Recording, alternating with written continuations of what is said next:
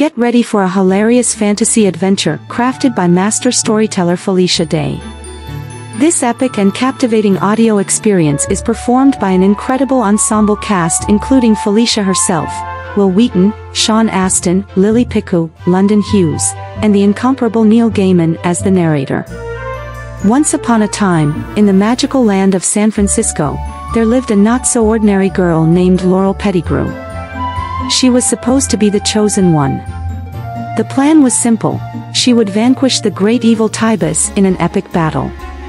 But Destiny had other ideas, and Laurel's performance in the whole heroics department was a colossal flop.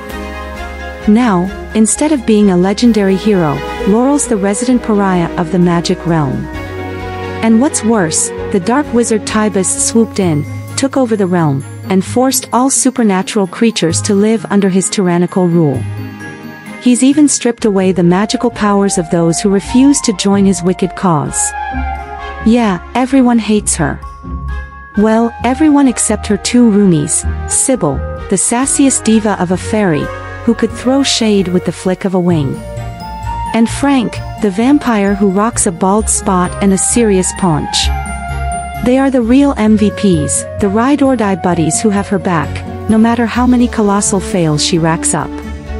And it's all about to get even weirder.